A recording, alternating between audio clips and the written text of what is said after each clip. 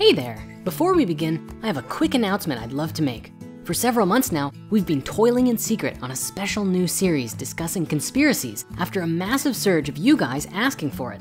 So we thought we'd try our hand at the subject and see how it goes. Now, normally we've been posting a new parable every Wednesday, but now Patch Parables is shifting to Saturday morning because who doesn't like Saturday morning cartoons? And this will free up our Wednesday slot for our new mini series, The Conspiracy Theory of Everything. The first official episode will debut very soon, but in the meantime, here's a short and very interesting conspiracy to get you started. And with that, cue pitch drop. So there's a conspiracy theory that's been making rounds on social media lately. Are the Trump family time travelers? It all began when someone was on the Library of Congress archive website and came across a book called Baron Trump's Marvelous Underground Journey that was published in 1893 by a man called Lockwood Ingersoll, if that is his real name. Actually, he published three books in his Trump science fiction series Travels and Adventures of Little Baron Trump and His Wonderful Dog Bulger, The Underground Journey, and The Last President. The Underground Journey is about a little boy called Baron Trump. Well, actually, his name is Wilhelm Heinrich Sebastian von Trump, but he goes by Baron, who finds a secret underground portal and time travels to different time periods. Now, the immediate and glaring thing here is that Baron is the name of President Trump's youngest son. If you look at drawings of the character in the Underground Journey and compare them to pictures of real life Barron Trump, the resemblance is uncanny, but we haven't even gotten started yet. In the book, little Baron Trump has a mentor and father figure, a man called Don. The events of this book take place in Russia, and besides Donald Trump's famous friendship with Putin, Melania Trump, President Trump's wife and mother of modern day Barron Trump, was born in Novo Mesto, Slovenia, before she moved to the US. So, four years later, Ingersoll published the sequel, The Last President. An obvious coincidental name aside, this is where things get really weird. The main plot of this book is about a very wealthy man who lives on Fifth Avenue in New York who decides to run for president, and naturally, no one expects him to win. As you might expect, located at 725 Fifth Avenue in New York today is none other than Trump Tower. In the book, shortly after the mysterious wealthy man wins an election that no one expected him to win, he's inaugurated and starts selecting his cabinet one of the first people he chooses is another mysterious gentleman who goes by the name Mr. Pence. Granted, in the book, he's given the post of Secretary of Agriculture rather than Vice President, but still, what's really going on here? After his inauguration, since no one expected him to win, the city of New York and the wider US in general erupts into violence, with people rioting and damaging property left, right, and center. So naturally, the new president signed some new executive orders to better control the people. Now, the next part of this theory gets even more crazy. Today, everyone knows about the forgotten physicist Nikola Tesla.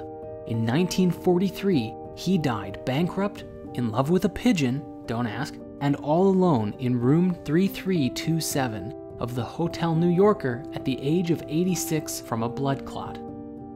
Now, while this theory usually says something along the lines of Tesla having designs for a time machine, this isn't strictly true. In fact, he was generally pretty critical of Einstein's theory of relativity, which is one of the main theories that time travel is generally based off of, as he didn't believe space could be curved. The thing is, he actually claimed to have developed his own theory regarding matter and energy that he started working on in 1892 and in 1937, at age 81, he claimed in a letter to have completed a dynamic theory of gravity that would put an end to idle speculations and false conceptions about curved space.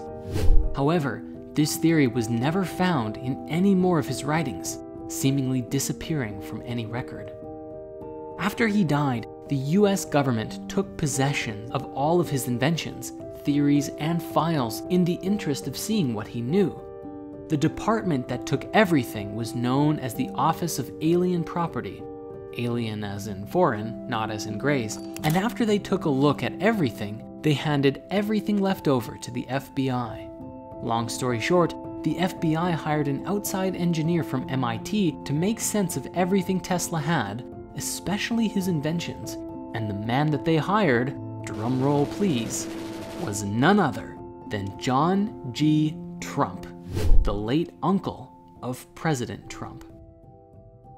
After studying everything, John Trump determined that there was nothing dangerous in Tesla's inventions that could hurt the US government.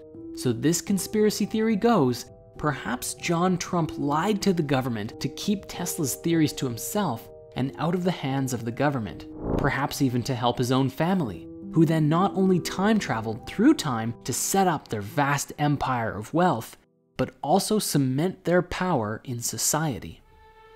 Now, there's one more thing to this theory, but we're not sure where it fits in.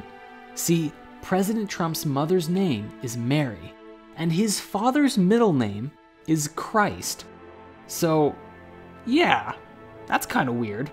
But what's more, his birthday of June 14th, 1946 was marked by a total lunar eclipse. So some intense energies were definitely going on back then regardless. Further, a lot of the early parts of these books, especially the first one, recount Baron Trump's adventures into the Hollow Earth, meeting with secret civilizations and dealing with the natives there. I'm not saying that this means Trump is either the next Jesus or the Antichrist, but as far as conspiracies go, there are ideas about both of these on either side of the equation. Now, I know how all this sounds, it's a pretty wild theory that the Trump family wrote these books or somehow influenced Ingersoll.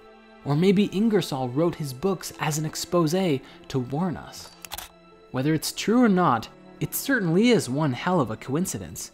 If you want to see a funny slant on it, Jamie Fuller wrote in Politico that the character of Baron Trump is often precocious, restless, and prone to get in trouble, often mentions his massive brain and has a personalized insult for most of the people that he meets, which sounds awfully familiar to someone who shall not be named.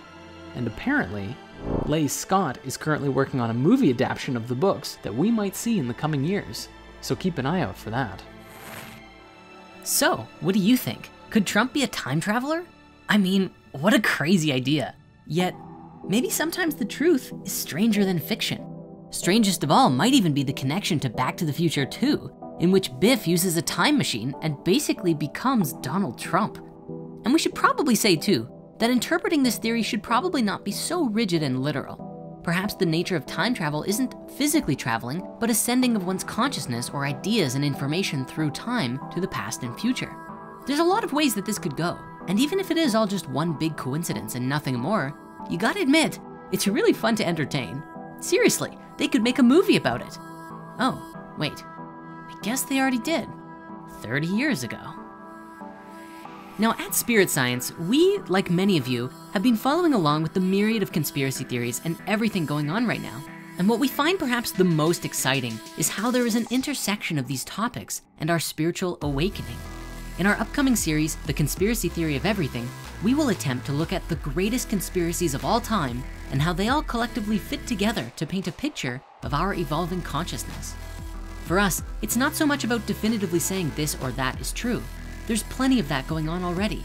What excites us is seeing the bigger picture, elevating our own consciousness so that we can address the seemingly unbelievable and sometimes disturbing realities of the world with an open heart and mind and the intention to transmute everything through the heart and create a better life and reality for all of us to share. And with that, we're looking forward to going down the rabbit hole with you. Much love and namaste.